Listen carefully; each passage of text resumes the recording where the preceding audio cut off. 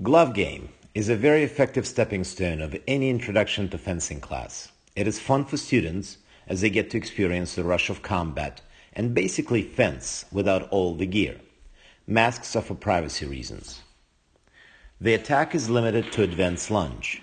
Defense gets out of the way, no parries, and then launch their attack, point blue. The students get into the game quickly. They have fun and accumulate a lot of advanced lunges without treating it as boring footwork. Coaches can further use this opportunity to correct mistakes. There is no reason while Red is scratching behind his right ear while his, with his saber while attacking. The sabers should not be hitting the floor either.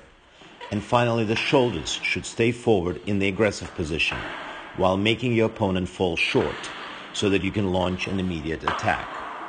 Nice. And now, putting it all together. Okay.